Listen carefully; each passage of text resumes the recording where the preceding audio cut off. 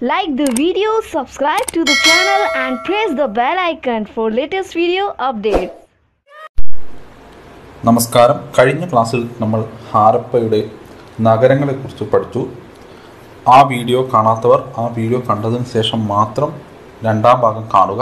അതിന്റെ പിന്തുടർച്ചയാണ് ഈ വീഡിയോ. അപ്പോൾ ഈ വീഡിയോയിൽ നമ്മൾ പറയുന്നത് രാഷ്ട്രീയ സംവിധാനം മുതലുള്ള കാര്യങ്ങളാണ്. അതായത് കല സംസ്കാരം കൈത്തൊഴിലുകൾ എല്ലാ മേഖലകളെക്കുറിച്ചും നമ്മൾ ഈ വീഡിയോയിൽ പ്രതിപാദിക്കുന്നുണ്ട്. അപ്പോൾ ഈ വീഡിയോ കാണുന്നതിന് തൊട്ട് മുൻപ് ആ വീഡിയോ കാണുക. എല്ലാവരും സബ്സ്ക്രൈബ് ചെയ്യുക. ഹരപ്പയിൽ ഹാരപ്പൻ സംസ്കാരത്തിൽ ഒരു രാഷ്ട്രീയ സംവിധാനം ഉണ്ടായിരുന്നോ എന്ന് പല ശാസ്ത്രകാരന്മാരും തമ്മിൽ ചർച്ചകൾ നടക്കുന്നുണ്ട്. നല്ല ഒരു രാഷ്ട്രീയ സംവിധാനം ഉണ്ടായിരുന്നു എന്ന് തന്നെയാണ് കരുതപ്പെടുന്നത്. കാരണം ചിട്ടയായ അളവുകളും ഏകീകൃതമായ പട്ടണങ്ങളും അല്ലെങ്കിൽ പട്ടണങ്ങളുടെ ഒരേ പ്ലാനുകളും അല്ലെങ്കിൽ വീടുകൾക്കെല്ലാം ഒരേ പ്ലാനുകളും എല്ലാം ഉണ്ടായിരുന്നു. ഇതെല്ലാം സൂചിപ്പിക്കുന്നത് ഒരു ഏകീകൃതമായ രാഷ്ട്രീയ സംവിധാനം ഉണ്ടായിരുന്നു അല്ലെങ്കിൽ കാര്യക്ഷമമായ ഒരു സംവിധാനം ഉണ്ടായിരുന്നു എന്ന് തന്നെയാണ്. വിദൂര ദേശങ്ങളുമായുള്ള വ്യാപാരം അളവ് തൂക്കങ്ങൾ മുതലായവയിൽ ഈ വസ്തുതയിലേക്ക് വിരൽ ചൂണ്ടുന്നവയാണ്. അതായത് ഇവിടെ ഒരു അഴുക്കുജൽ സമ്പ്രദായം ഉണ്ടായിരുന്നു എന്ന് നമ്മൾ കഴിഞ്ഞ ക്ലാസ്സിൽ പറഞ്ഞിട്ടുണ്ട്. വളരെ വൃത്തിയും ഏറ്റവും നല്ല പ്ലാനിങ്ങോട് കൂടിയുള്ള ഒരു അഴുക്കുചാൽ സംവിധാനം ധാന്യപ്പുരകൾ എല്ലാ സ്ഥലങ്ങളിലും ഏകദേശം ഒരുപോലെയുള്ള ഒരു പ്ലാ മാസ്റ്റർ പ്ലാനാണ് ഉണ്ടായിരുന്നത്. അതായത് കിലോമീറ്ററുകൾ അകലം വരെ ഉണ്ടായിരുന്ന പല നഗരങ്ങൾക്കും ഒരേ ഏകീകൃത ഉണ്ടായിരുന്നു. അതായത് യൂണിഫോമിറ്റി ധാരാളമായി കണ്ടുവരാമായിരുന്നു. ഒരു ഭരണകൂടമില്ലാതെ ഹാരപ്പൻ നഗരങ്ങൾക്ക് ഇങ്ങനെ നിലനിൽക്കാൻ കഴിയുമായിരുന്നില്ല എന്ന് തന്നെയാണ് എല്ലാ ചരിത്രകാരന്മാരും അഭിപ്രായപ്പെടുന്നത്. പക്ഷേ നമുക്ക് ഒരിക്കൽ പോലും അറിഞ്ഞിട്ടില്ല അല്ലെങ്കിൽ ഇതിന്റെ വിവരങ്ങൾ ലഭിച്ചിട്ടില്ലാത്ത കാര്യം അവിടെ ഭരിച്ചിരുന്നത് രാജാക്കന്മാരാണോ വ്യവസായികളുടെ കൂട്ടായ്മയാണോ?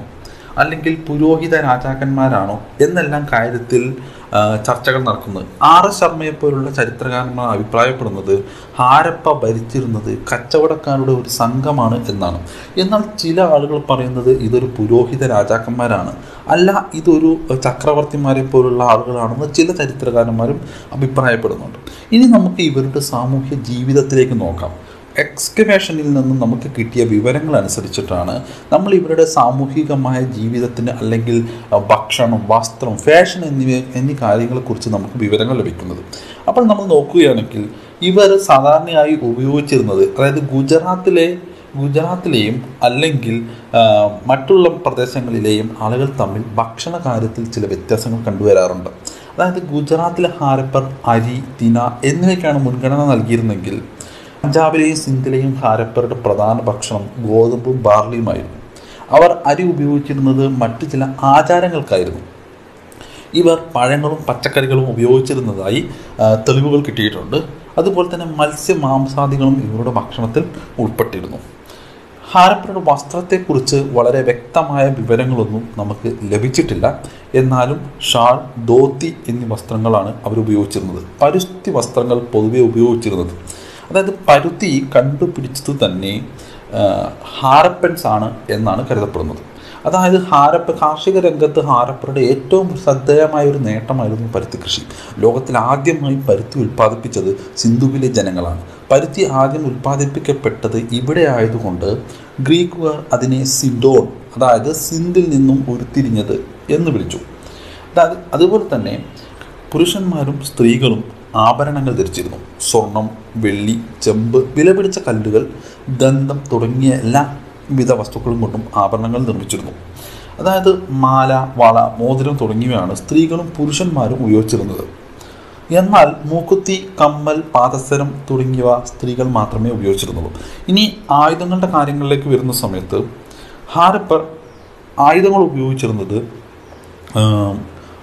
കത്തി അല്ലെങ്കിൽ കുന്തം വാൾ എന്നീ തുടങ്ങിയ ആയുധങ്ങൾ ഉപയോഗിക്കും അതുപോലെ തന്നെ പരിചകൾ പടച്ചട്ടകൾ ഹെൽമറ്റുകൾ എന്നിവ ഉപയോഗിച്ചിരുന്നു എന്നതിന് യാതൊരുവിധ തെളിവുമില്ല.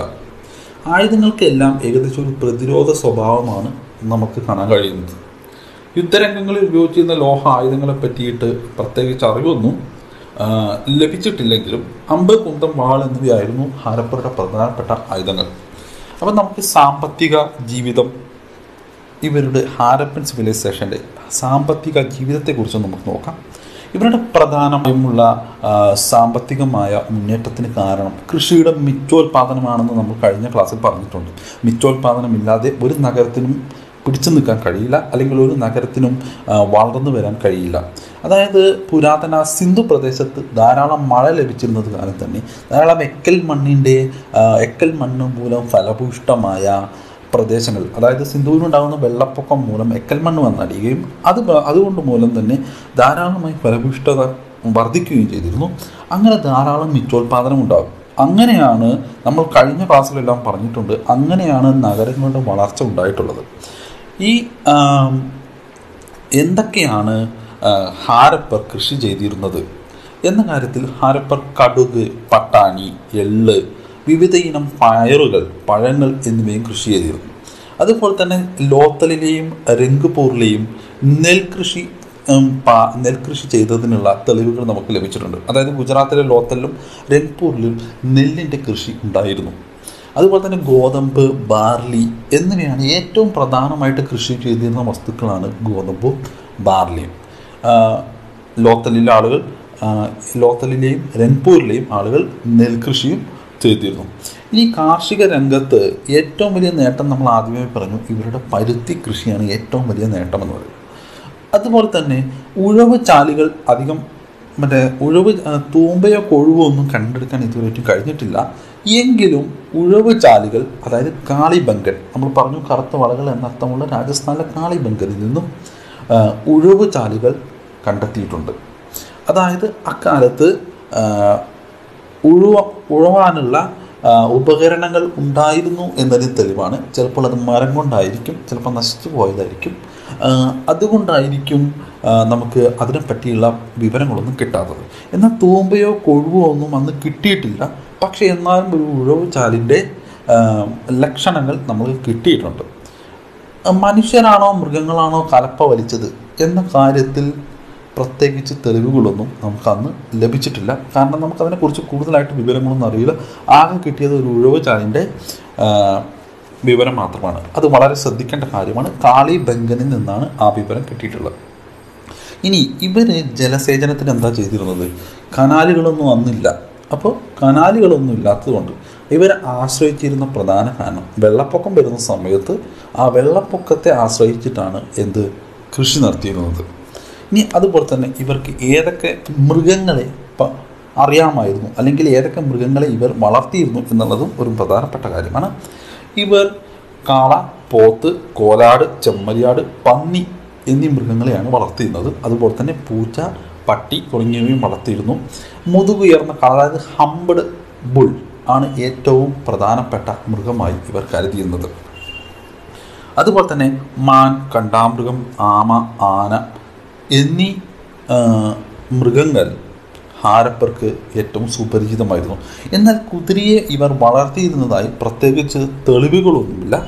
എന്നാലും ചില ചില ചെറിയ ചെറിയ തെളിവുകൾ മാത്രമേ നമുക്ക് ലഭിച്ചിട്ടുള്ളൂ. അതായത് കുതിര സാധാരണമായിരുന്നില്ല എന്ന് വേണം നമുക്ക് കരുതാം അതായത് സുർക്കാതോതയിൽ നിന്നും കളിമൺ രൂപത്തിൽ കുതിരയുടെ അവശിഷ്ടങ്ങൾ കിട്ടിയിട്ടുണ്ട്.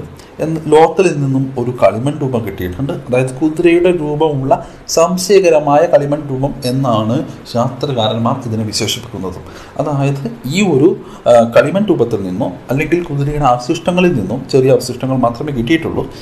എന്നും നമുക്ക് വിശ്വസിക്കാവുന്നത് അക്കാലത്ത് കുതിര വളരെയധികം ഉപയോഗിക്കപ്പെട്ടിരുന്ന ഒരു അല്ലെങ്കിൽ വളർത്തപ്പെട്ടിരുന്ന മൃഗം അല്ലായിരുന്നു എന്ന് വേണം നമുക്ക് കരുതാൻ. ഇനി അതുപോലെ തന്നെ അളവ് തൂക്കങ്ങളും ഉപകരണങ്ങളും.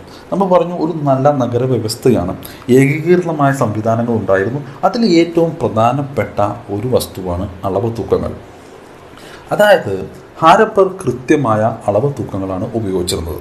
അതായത് പതിനാറിന്റെ അടിസ്ഥാനത്തിൽ അതായത് പതിനാറും അതിന്റെ ഗുണിതങ്ങളുമായിട്ടാണ് അളവ് തൂക്കങ്ങൾ ഉപയോഗിച്ചിരുന്നത്. അതായത് പതിനാറ് അറുപത്തിനാല് നൂറ്ററുപത് മുന്നൂറ്റി ഇരുപത് അറുന്നൂറ്റി നാൽപ്പത് ആയിരത്തി അറുന്നൂറ് മൂവായിരത്തി ഇരുന്നൂറ് എന്നിങ്ങനെയുള്ള ഗണത്തിലാണ് അളവുകൾ ഉണ്ടായിട്ടുള്ളത്. അതായത് ഇവർ അളവുകൾക്ക് വേണ്ടിയിട്ട് ഉപയോഗിച്ചിരുന്നത് അങ്കനം ചെയ്ത കമ്പുകൾ അതായത് ബ്രോൺസിന്റെ ബ്രോൺസിന്റെ വടികൾ പോലെയുള്ള അങ്കനം ചെയ്ത കമ്പുകൾ അന്ന് അളവ് വടികൾ ഉപയോഗിച്ചിരുന്നു. അത് അതും കൃത്യമായ അളവുകളാണ്. ഏകദേശം എല്ലായിടത്തും ഒരേപോലെയുള്ള അളവുകൾ. അതാണ് അതിൽ ഏറ്റവും വലിയ പ്രത്യേകത. യൂണിഫോമിറ്റി. അതായത് കിലോമീറ്റർ വളരെ കിലോമീറ്ററുകൾ പത്തോ മുന്നൂറോ മുന്നൂറ്റമ്പതോ കിലോമീറ്റർ അകലെയുള്ള പോലും ഇന്നത്തെ പോലെ കമ്മ്യൂണിക്കേഷൻ ഡിവൈസസോ ഒന്നുമില്ലാത്ത സമയത്ത് പോലും വളരെ കൃത്യമായ അളവ് എല്ലായിടത്തും ഒരുപോലെ തന്നെയായിരുന്നു. അതുപോലെ തന്നെ ഇവർ ഉപയോഗിച്ചിരുന്ന മറ്റൊരു കാര്യങ്ങളാണ്. അതായത് ഇവർ പലതരം വ്യവസായങ്ങൾ അല്ലെങ്കിൽ വാണിജ്യപരമായ കാര്യങ്ങൾ മറ്റുള്ള രാജ്യങ്ങളുമായി ചെയ്യുമ്പോൾ പോലും ഇത്തരം അളവുകളെ ആണ് ഉപയോഗിച്ചിരുന്നത്. അതുപോലെ തന്നെ ഇവർക്ക് സീലുകൾ പതിപ്പിക്കുന്ന അല്ലെങ്കിൽ ഇതിന്റെ കൂടെ തന്നെ സീലുകൾ വയ്ക്കുന്ന ഒരു സ്വഭാവം കൂടി ഇവർക്കുണ്ടായിരുന്നു. സീലുകളെക്കുറിച്ച് വളരെ വിശദമായി തന്നെ നമ്മൾ വരുന്ന ക്ലാസ്സുകളിൽ പറയുന്നതാണ്. ഈ ക്ലാസ്സിൽ തന്നെ അത് പറയാം. ഇനി ഹാരപ്പർ മറ്റുള്ള രാജ്യങ്ങളുമായി അക്കാലത്ത് വാണിജ്യ വ്യവസായങ്ങൾ നടത്തിയിരുന്നു. അതായത് വാണിജ്യ വ്യാപാരങ്ങൾ നടത്തിയിരുന്നു.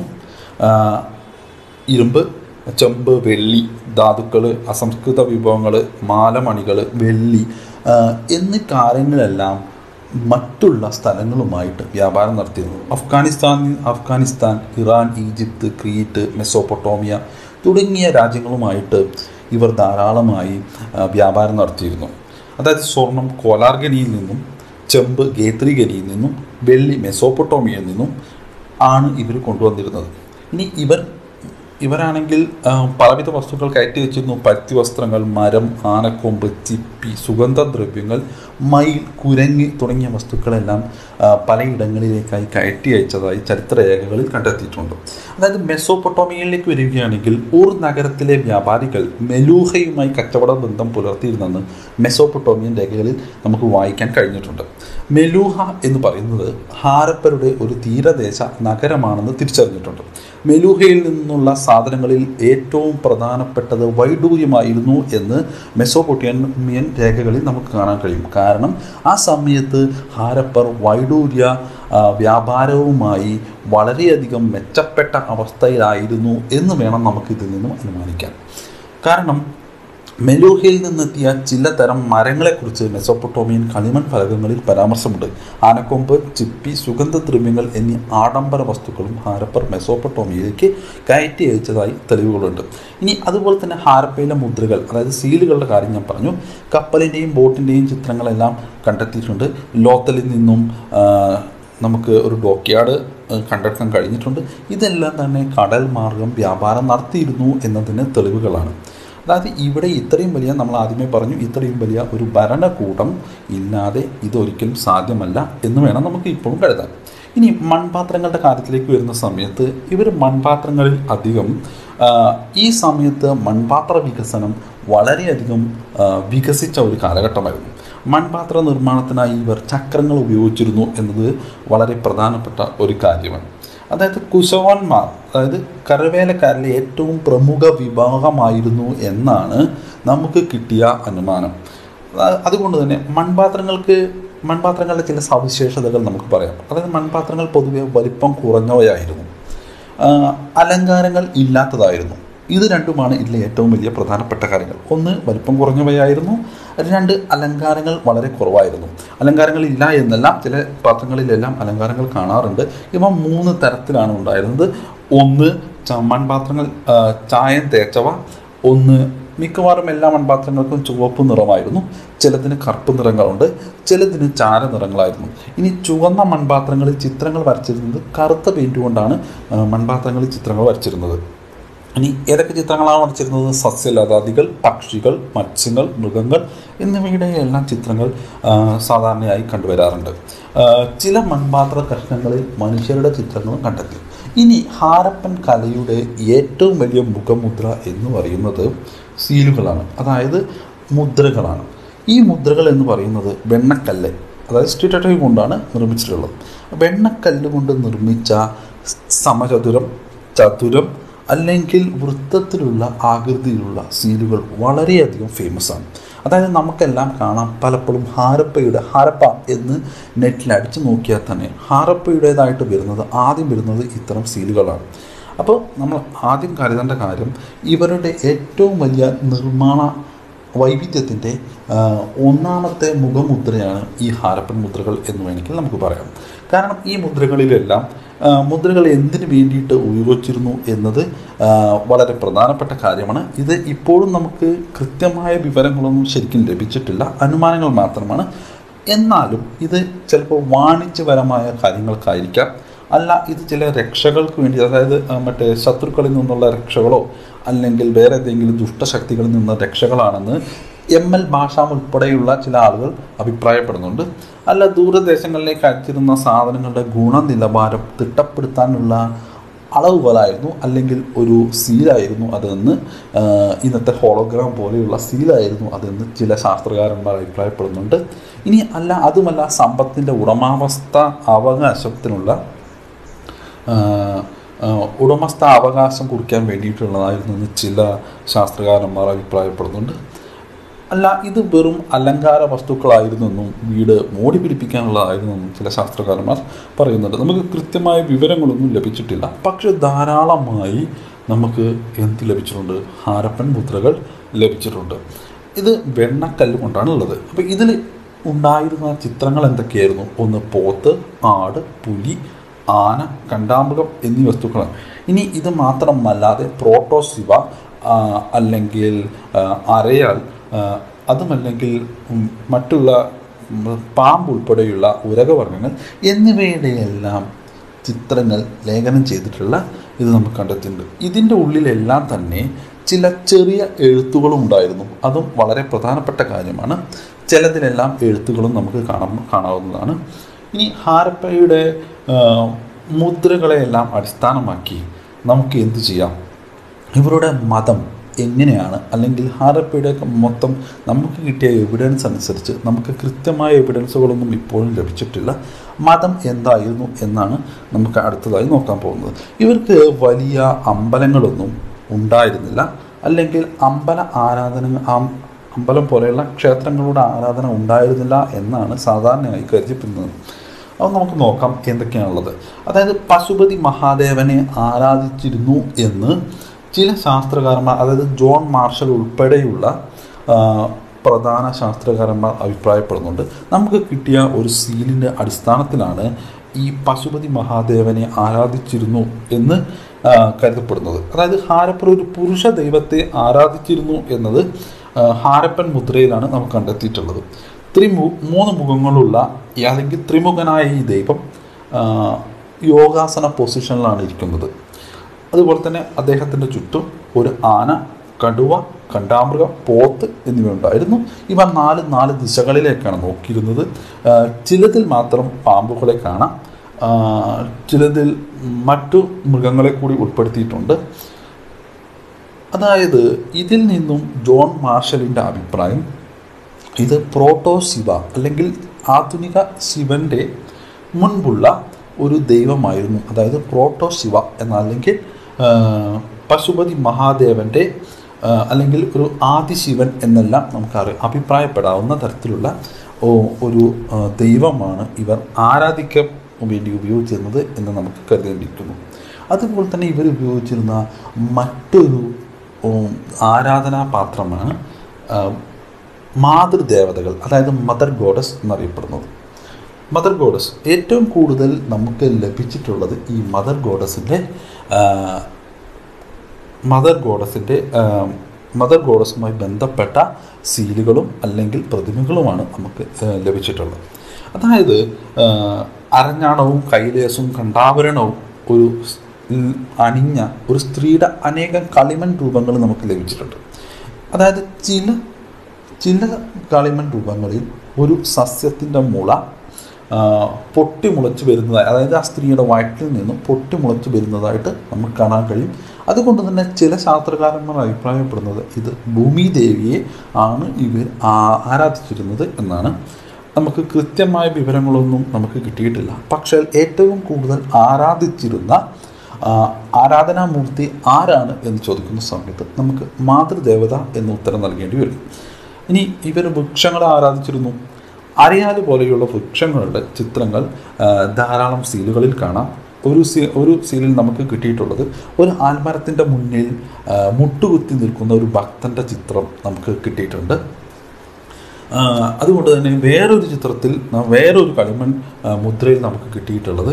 അതായത് ഒരു ആൽമരത്തിന്റെ ആൽമരത്തിൽ നിന്നും ഒരു മനുഷ്യരൂപം പൊന്തി വരുന്നതായിട്ടുള്ള ഒരു ചിത്രം.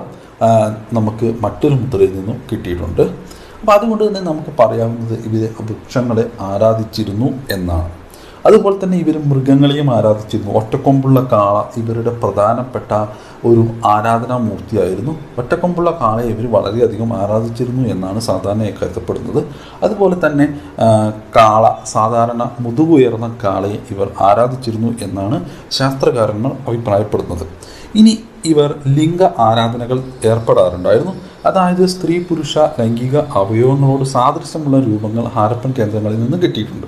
ഇതിനെക്കുറിച്ച് ആര്യന്മാരുടെ ഋഗ്വേദത്തിൽ തന്നെ പരാമർശമുണ്ട്. അതായത് ലിംഗ ആരാധകരായ അനാര്യന്മാർ ഉണ്ടായിരുന്നു എന്ന് ഋഗ്വേദത്തിൽ പരാമർശമുണ്ട്. ഇത് വളരെ ഇമ്പോർട്ടന്റ് ആയിട്ടുള്ള ഒരു പോയിന്റാണ് ഹരിയുപ്യ എന്ന പദത്തിന് ശേഷം ഋഗ്വേദത്തിൽ ഹാരപ്പൻ സംസ്കാരത്തെക്കുറിച്ച് ഹാരപ്പന്മാരെ കുറിച്ചാണെന്നാണ് സാധാരണയായി ഇപ്പോൾ ശാസ്ത്രകാരന്മാർ കരുതിപ്പോരുന്നത്. ആ, ഹരിയുപ്യ എന്ന പദത്തിന് ശേഷം ഋഗ്വേദത്തിൽ ഇവരെക്കുറിച്ച് പരാമർശിക്കുന്നത് ഈ വാക്കുകളിലൂടെയാണ്. അപ്പോൾ ഹാരപ്പർ മൃഗങ്ങളുടെയും മനുഷ്യരുടെയും രൂപത്തിലുള്ള ദൈവങ്ങളെ ആരാധിച്ചിരുന്നു. ഇവർക്ക് പ്രത്യേകിച്ച് വലിയ അമ്പലങ്ങളൊന്നും ഉണ്ടായിരുന്നില്ല. അതായത് കോട്ടയ്ക്കുള്ളിലെ കെട്ടിടങ്ങൾ അസംബ്ലി ഹാൾ വലിയ കുളിമുറി എന്നിവയ്ക്കെല്ലാം ആചാരപരമായ പ്രാധാന്യം ഉണ്ടായിരുന്നു എന്നാണ് ഇപ്പോൾ കരുതിപ്പോരുന്നത്. ഇവർക്ക് മന്ത്രവാദങ്ങളിൽ അല്ലെങ്കിൽ ദുഷ്ടശക്തികളിൽ നിന്നും രക്ഷപ്പെടാൻ വേണ്ടിയുള്ള ആചാരപ്രകടനം കരുതിപ്പോരുന്നുണ്ട്. അതുകൊണ്ടാണ് ധാരാളം മുദ്രകൾ ഉപയോഗിച്ചിരുന്നത് അതായത് അമ്പലറ്റ്സ് ഉപയോഗിച്ചിരുന്നത് എന്ന് പല ശാസ്ത്രകാരന്മാരും അഭിപ്രായപ്പെടുന്നുണ്ട്.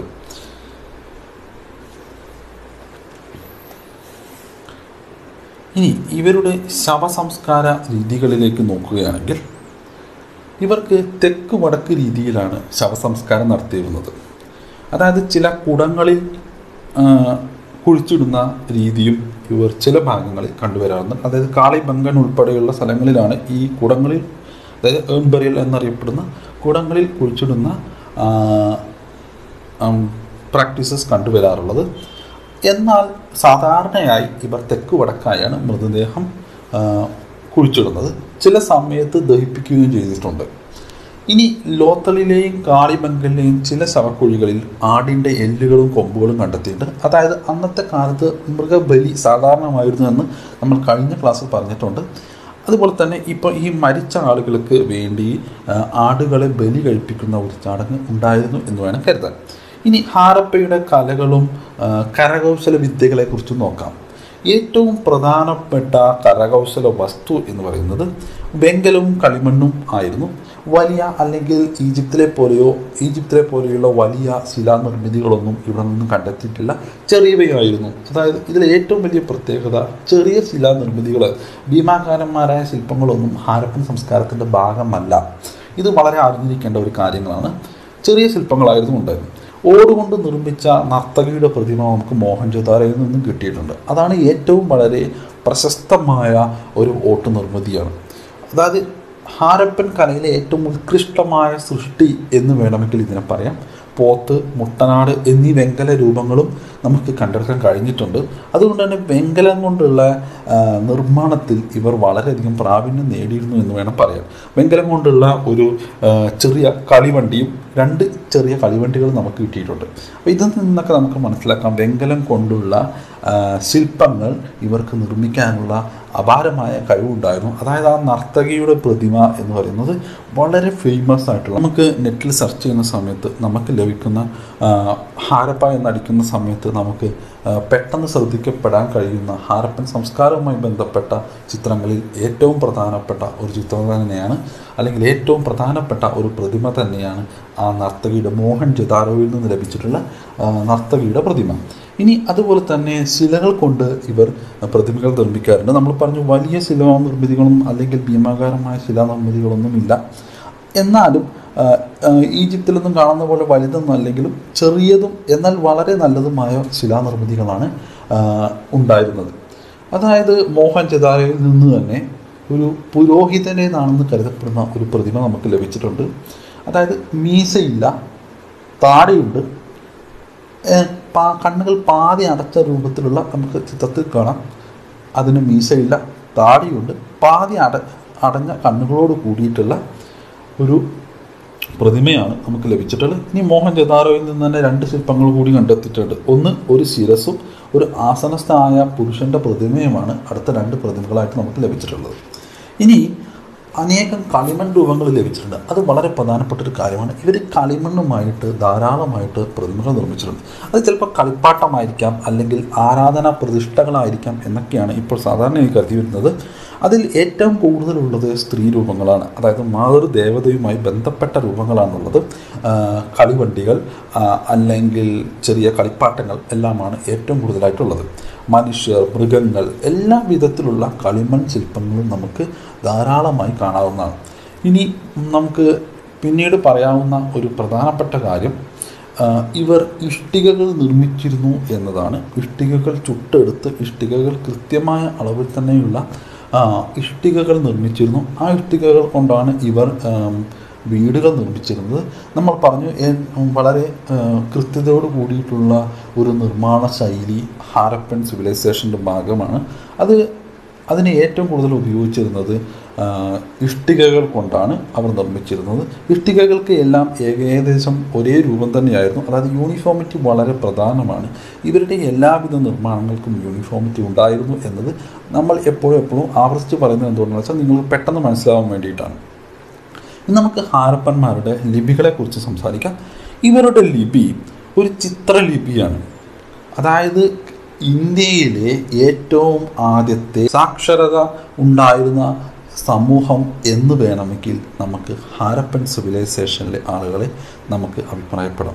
കാരണം ഹാരപ്പൻ സിവിലൈസേഷനിലെ എഴുത്തുവിദ്യ അത്രത്തോളം വളരെയധികം വിപുലമായിരുന്നു. നമുക്ക് ആയിരത്തി തൊള്ളായിരത്തി ഇരുപത്തി മൂന്നായപ്പോഴേക്കും എല്ലാവിധ ലിഖിതങ്ങളും നമുക്ക് കണ്ടെത്തിയിട്ടുണ്ട്. ഏകദേശം നാലായിരം മാതൃകയുടെ അടുത്ത് തന്നെ നമ്മൾ ഇത് കണ്ടെത്തിയിട്ടുണ്ട്. പക്ഷെ അൺഫോർച്ചുനേറ്റ്ലി നമുക്ക് ഇതൊന്നും വായിക്കാനുള്ള കഴിവുണ്ടായിട്ടില്ല. കാരണം ഇത് എങ്ങനെ വായിക്കണമെന്ന് നമുക്ക് ഇപ്പോഴും അറിഞ്ഞുകൂടാ. കാരണം മെസ്സപ്പൊട്ടോമിയയിലെ രേഖകളൊക്കെ നമുക്ക് വായിക്കാൻ കഴിഞ്ഞെങ്കിലും ഹാരപ്പൻ സിവിലൈസേഷന്റെ രേഖകൾ വായിക്കാത്തത് കൊണ്ട് തന്നെ ഇത് ഇതുമായി ബന്ധപ്പെട്ട ഹാരപ്പൻ സിവിലൈസേഷനുമായി ബന്ധപ്പെട്ട വസ്തുക്കൾ നമുക്ക് ഇതുവരെയും മനസ്സിലാക്കാൻ കഴിഞ്ഞിട്ടില്ല. ഈ ഹാരപ്പൻ സിവിലൈസേഷൻ നമുക്കിത് വായിക്കാൻ കഴിഞ്ഞാൽ ഏറ്റവും കൂടുതൽ വിവരങ്ങൾ ചിലപ്പോൾ നമുക്ക് ലഭിക്കാൻ കഴിയും. കാരണം ഇതുവരെ ചിലപ്പോൾ നമ്മൾ വിചാരിച്ചിരുന്ന പല കാര്യങ്ങളും തെറ്റാണെന്നോ അല്ലെങ്കിൽ അതിനെക്കുറിച്ച് കൂടുതലായിട്ടുള്ള വിവരങ്ങൾ അറിയുന്നതിന് വേണ്ടിയിട്ടോ നമുക്ക് ഈ ഹാരപ്പൻ സിവിലൈസേഷന്റെ ഈ ലിപികൾ അല്ലെങ്കിൽ സ്ക്രിപ്റ്റുകൾ നമ്മൾ വായിക്കേണ്ടിയിരിക്കുന്നു. അതായത് പല ആളുകൾ ഇത് വായിക്കാൻ വേണ്ടിയിട്ട് ശ്രമിച്ചിട്ടുണ്ട്. പക്ഷെ അവർക്കൊന്നും നടന്നിട്ടില്ല എന്നാണ് ഏറ്റവും വലിയ പ്രധാനം. അതായത് ഇവർ നീണ്ട ലിഖിതങ്ങൾ ഒരിക്കലും എഴുതാറില്ല. വളരെ ചുരുങ്ങിയ വാക്കുകളിലുള്ള ലിഖിതങ്ങൾ മാത്രമേ ഉള്ളൂ. ഇവർക്കാകെ ഇരുന്നൂറ്റമ്പത് മുതൽ നാനൂറ്റമ്പത് വരെയുള്ള ചിത്ര അക്ഷരങ്ങളാണ് ഇവർക്കുണ്ടായിരുന്നത്. ഇതിൽ ഏറ്റവും വലിയ പ്രധാനപ്പെട്ട ഇത് ഒരു ഭാഗത്തു നിന്ന് വലത്തോട്ടും അത് കഴിഞ്ഞിട്ട് അതായത് വലത്ത് നിന്നും ഇടത്തോട്ട് എഴുതും. അത് കഴിഞ്ഞിട്ട് പിന്നെ ഇടത്തു നിന്നും വലത്തോട്ട് എഴുതും. അങ്ങനത്തെ രീതിയാണ് ഉള്ളത് എന്ന് പല ആളുകളും അഭിപ്രായപ്പെടുന്നുണ്ട്. പക്ഷെ എന്നാലും ഇത് കൃത്യമായി വായിക്കാൻ ഇതുവരെയിട്ടും നമുക്ക് സാധിച്ചിട്ടില്ല. ഇനി ഇത്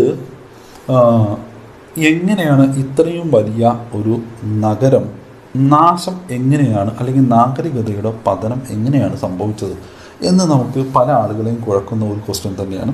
ഇതും അൺഫോർച്ചുനേറ്റ്ലി നമുക്ക് കൃത്യമായ വിവരങ്ങളൊന്നും ലഭിച്ചിട്ടില്ല. കാരണം ഇതിനെക്കുറിച്ചുള്ള അനുമാനങ്ങൾ മാത്രമേ ഉള്ളൂ. അതായത് ചില ആളുകൾ പറയുന്നത് ഇത് ആര്യൻ ആക്രമണമാണ് എന്നാണ്. അതായത് മോട്ടിമർ വീലർ എന്ന ശാസ്ത്രകാരനാണ് ആര്യൻ ആക്രമണമായിരിക്കാം ഇതിന് കാരണം എന്ന് അദ്ദേഹം പറയുന്നത്. അതിന് അദ്ദേഹം പറയുന്ന ഒരു കാര്യം കൂടിയുണ്ട്. അതായത് ഒരു സ്ഥലത്ത് ഇവരെന്ത് ചെയ്തു? ഇരുപത്താറ് പേരുടെ ജഡങ്ങൾ ഒരുമിച്ച് കുഴിച്ചിട്ടതായി കണ്ടെത്തി. ആ സ്ഥലത്ത് ഇരുപത്താറ് പേരുടെ ജഡങ്ങൾ മാത്രം കണ്ടുകൊണ്ടാണ് അദ്ദേഹം എന്ത് തീരുമാനിച്ചത്. ഇത് ആര്യന്മാരുടെ ആക്രമണമായിരിക്കും എന്ന് കരുതുന്നത്. എന്നാൽ ആ ശരിക്കും ആര്യന്മാർ എത്തിയത് ബി സി ആയിരത്തി അഞ്ഞൂറോട് കൂടിയിട്ടാണ്. എന്നാൽ ബി സി ആയിരത്തി എണ്ണൂറോട് കൂടി തന്നെ ഹാരപ്പൻ സംസ്കാരം ഏകദേശം ഇല്ലാതായി എന്ന് വേണം നമുക്ക് കരുതാൻ. കാരണം പതനം തുടങ്ങിയിരുന്നു ആയിരത്തി എണ്ണൂറോടുകൂടി അപ്പോൾ ആയിരത്തി അഞ്ഞൂറിൽ മോട്ടിമൽ വീലറുടെ അടിസ്ഥാനത്തിൽ ആര്യന്മാരുടെ ആക്രമണം കൊണ്ടാണ് ഹർപ്പൻ സംസ്കാരം ഇല്ലാതായത് എന്ന് നമുക്ക് ഒരിക്കലും പറയാൻ കഴിയില്ല. ഇനി ചില ആളുകൾ അഭിപ്രായപ്പെടുന്നത് അത് പ്രകൃതിക്ഷോഭങ്ങളായ വെള്ളപ്പൊക്കമോ ഭൂകമ്പമോ എന്തെങ്കിലും കാരണമായിരിക്കും. ഇത് ശരിക്കും അഭിപ്രായപ്പെട്ടത് ജോൺ മാർഷലും എസ് ആർ റാവും ഒക്കെയാണ്. അപ്പോൾ സിന്ധു നദിയിലുണ്ടായ വെള്ളപ്പൊക്കമായിരിക്കാം മോഹൻജൊദാരോയുടെ മ- പതനത്തിനുണ്ടായ കാരണം എന്നാണ്. എന്നാൽ നമ്മൾ അപ്പോഴും പറയാൻ കഴിയാത്ത ഒരു കാര്യം പലപ്പോഴും സിന്ധു നദിയുടെ തീരത്തല്ലാതെ കുറേ ദൂരത്തുള്ള നമുക്ക് അഫ്ഗാനിസ്ഥാന്റെ തീരങ്ങൾ അല്ല അഫ്ഗാനിസ്ഥാന്റെ ഭാഗങ്ങളിലൊക്കെ ധാരാളമായിട്ട് ഈ ഹാർപ്പൻ സംസ്കാരം കണ്ടിട്ടുണ്ട്. അപ്പോൾ അതൊക്കെ എങ്ങനെയാണ് നശിച്ചു പോകുക എന്ന് ഈ ഒരു സിദ്ധാന്തത്തിന് പറയാൻ സാധിച്ചില്ല. അതുകൊണ്ട് ആ ഒരു പോസിബിലിറ്റിയും നമുക്ക് തള്ളിക്കളയേണ്ടിയിരിക്കുന്നു. ഇനി സിന്ധു നദി തടി നദിയുടെ ഗതിമാറ്റമായിരിക്കാം. അതായത് സിന്ധു നദി ഇടയ്ക്കിടയ്ക്ക് ഗതി മാറി ഒഴുകുന്ന ഒരു സ്വഭാവമുള്ള നദിയായിരുന്നു. അപ്പോൾ ഇതുകൊണ്ടായിരിക്കാം ആളുകൾ നശിച്ചു പോയത് എന്നൊന്നും ചില ആളുകൾ അതായത് ഏകദേശം ഒരു മുപ്പത് നാഴിക മാറിയിട്ടാണ് സിന്ധു നദി ആദ്യമുള്ളതിൽ നിന്ന് മുപ്പത് നാഴിക മാറിയിട്ടാണ് ഇപ്പോൾ സിന്ധു നദി ഒഴുകുന്നത്. അപ്പം അതുകൊണ്ട് തന്നെ അതുകൊണ്ടായിരിക്കാം എന്നത് ചില ആളുകൾ അഭിപ്രായപ്പെടുന്നുണ്ട്. ഏറ്റവും ഈ കാര്യം അഭിപ്രായപ്പെട്ടത് എച്ച് ടി ലാംബ്രിക് എന്ന ശാസ്ത്രജ്ഞനാണ്. പക്ഷെ അപ്പോഴും നമ്മളൊരു കാര്യം നമ്മൾ വളരെ ശ്രദ്ധിക്കേണ്ട ഒരു കാര്യമുണ്ട്. നമ്മൾ നമ്മൾ ആദ്യമേ പറഞ്ഞു അഫ്ഗാനിസ്ഥാനിലോ അല്ലെങ്കിൽ ഉത്തർപ്രദേശിന്റെ ഭാഗങ്ങളിലോ അല്ലെങ്കിൽ ഗുജറാത്തിന്റെ ഭാഗങ്ങളിലോ ഒക്കെ ഉള്ള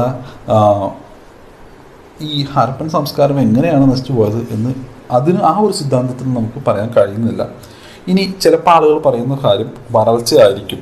അതായത് നമ്മൾ ഇത് സിന്ധു നദിയുടെ തീരത്താണ് എന്ന് പറയുമെങ്കിലും ഇത് ശരിക്കും ഗഗർ ഹക്ര തീരത്താണ്. ഗഗർ ഹക്ര എന്ന് പറയുന്ന നദി വറ്റുവരണ്ട് പോയതാണ്. നമുക്ക് എല്ലാവർക്കും അറിയാം.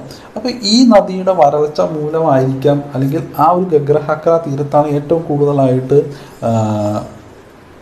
ഹാരപ്പൻ സംസ്കാരം നിലനിന്നത്. അപ്പോൾ അതുകൊണ്ടായിരിക്കാം അത് നശിച്ചു പോയത് എന്ന് ചില ആളുകൾ അഭിപ്രായപ്പെടുന്നു. അത് ഡി പി അഗർവാൾ പോലെയുള്ള ആളുകൾ.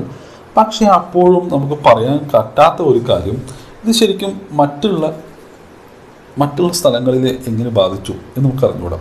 ചില ആളുകളുടെ അഭിപ്രായം ധാരാളമായി ഞാൻ ആദ്യമേ പറഞ്ഞിട്ടുണ്ട് ഇവരെ ഏറ്റവും കൂടുതലായിട്ട് ഇഷ്ടികകൾ കൊണ്ടാണ് വീടുകൾ നിർമ്മിച്ചിരുന്നത്. അപ്പോൾ ഇഷ്ടികകൾ ധാരാളമായി നഗരവൽക്കരണം വന്നതോടുകൂടി ഇഷ്ടികകൾ ചൂടുന്നതിന് വേണ്ടി ധാരാളം വിറകുകൾ കത്തിക്കേണ്ടി വന്നു.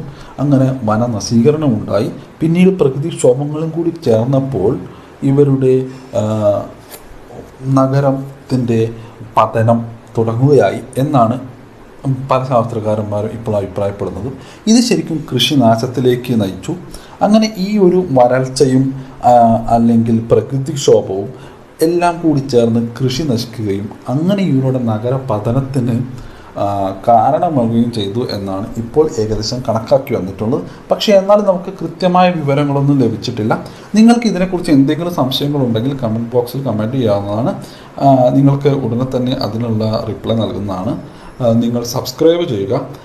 പെട്ടെന്ന് തന്നെ വീഡിയോയുടെ ലഭിക്കുന്നതിന് വേണ്ടിയിട്ട് എല്ലാവരും സബ്സ്ക്രൈബ് ചെയ്യുക. ബെൽ ബട്ടൺ ക്ലിക്ക് ചെയ്യുക. മറ്റുള്ളവർക്ക് വേണ്ടി ഷെയർ ചെയ്തു കൊടുക്കുക. അപ്പോൾ മറ്റുള്ളവർക്കും കൂടി അറിയുന്ന ആരെങ്കിലും അറിയാത്തവരുണ്ടെങ്കിൽ അവരും കൂടി അറിഞ്ഞോട്ടെ. കാരണം അവർക്കും കൂടി ഹെൽപ്പ് ആവുകയെങ്കിൽ ഇത് വലിയ ഉപകാരമാണ്. അപ്പോൾ എല്ലാവരും സബ്സ്ക്രൈബ് ചെയ്യുക. നന്ദി നമസ്കാരം.